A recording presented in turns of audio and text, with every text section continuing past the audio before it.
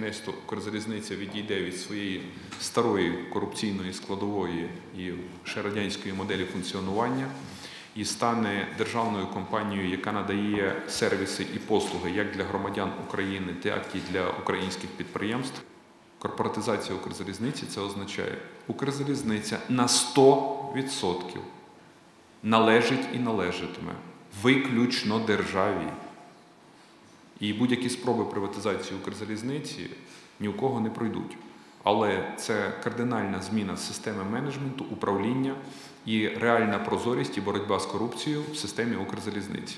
За останні два десятки років керівництво Укрзалізниці і керівництво різних доріг, вони всі практично присвоєний статус олігархів, залізничних олігархів. Обсяги розкрадань на залізничі були неймовірні.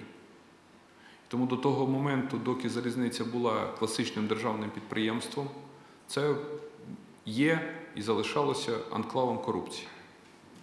Як я зараз розглядаю корпоратизацію Укрзалізниці? Не тільки з точки зору покращення сервісу, не тільки з точки зору прозорості цієї компанії.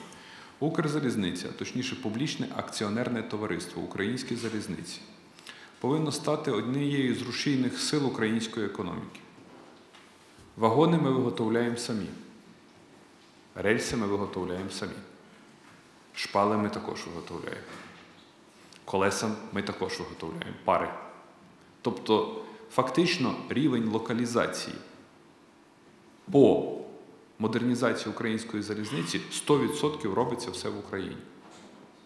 Росія нам перекрила ринки, але внутрішній попит на вагони, на локомотиви і на залізничну інфраструктуру неймовірний. Тому завдання, яке стоїть перед вами, це невідкладно реформувати Укрзалізницю і створити публічне акціонерне товариство Українські залізниці. Чим швидше ви це зробите, тим швидше до нас прийде фінансовий ресурс на те, щоб купувати в українських заводів українські вагони, українські шпали, українські рельси, українські локомотиви. Е,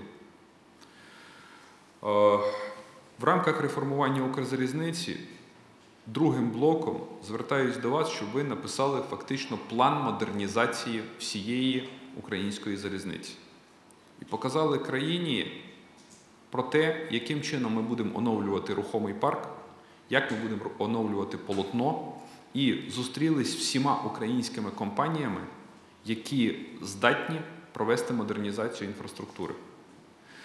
Е, нам потрібен серйозний фінансово-економічний пакет, де, можливо, частина ресурсу ми залучимо як фінансовий ресурс з-за кордону, частина внутрішнього ресурсу, а частина власники підприємств, де задіяні десятки тисяч людей, також будуть брати відповідний фінансовий ресурс, будуть отримувати додаткові кредити, і ми зможемо розпочати широкомасштабну модернізацію української залізниці.